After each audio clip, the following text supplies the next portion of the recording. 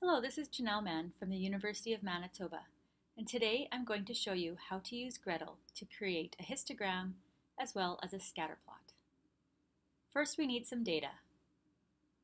To open up data in Gretl, click File, Open Data, and then we're going to use a Gretl data file.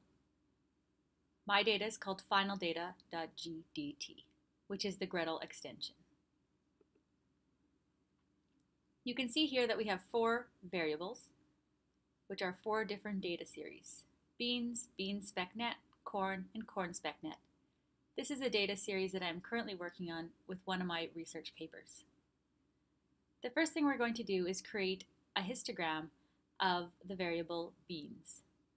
To do this, click on beans, then click on variable, and then frequency distribution. This is just the name that Gretl has given a histogram. Now what we need to do for the histogram is select the number of bins. This is the number of vertical lines in the histogram. Here we're going to use 35, but the number depends on your data series, specifically on the number of observations in the series. We're going to collect Show Data Only and then Show Plot.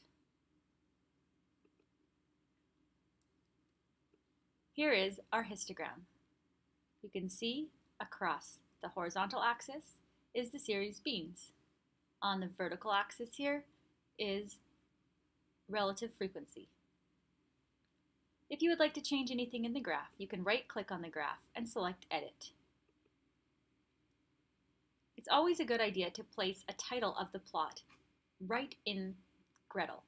Later on, if you move this to another type of document, a Word document or a PowerPoint document, you can always crop the plot, but this will help you to remember exactly what you did. You can also choose a title for the x-axis and y-axis, as well as some other details. Once you're finished, you click OK, and then you have your histogram. One final thing, if you're going to be moving your histogram into another type of document or would like to save it, you can right-click on the graph and you have many options. Some are for saving, or you can also copy to a clipboard.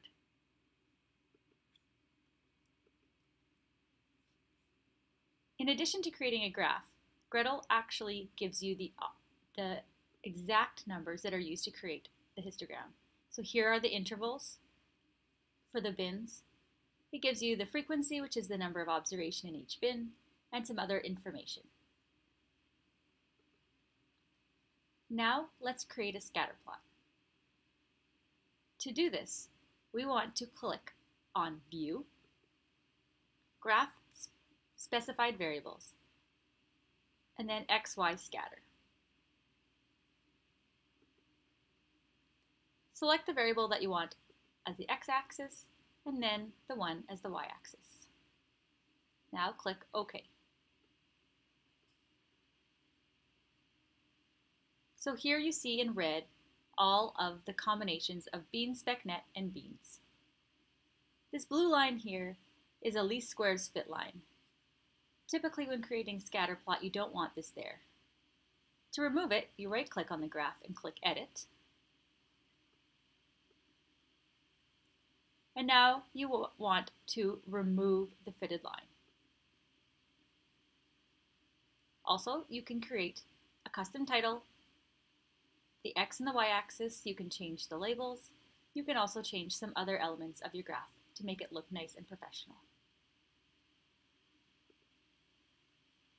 So this is the scatter plot. We do not want to have the x, uh, the line of best fit. We just want to have the x and y coordinates. And again, to save this graph, you right click and you have many saving options and you can also copy it to a clipboard. This wraps up the Gretl video describing how to create a histogram and a scatter plot.